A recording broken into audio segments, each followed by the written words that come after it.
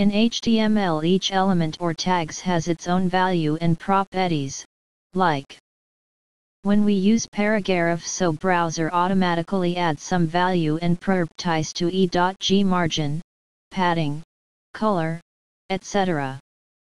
That display on screen at browser. So in HTML the element values are divided in two parts first is block element. And second is, inline element. What is block element? Block element is the element where each element has placed new element after previous element. And there's some.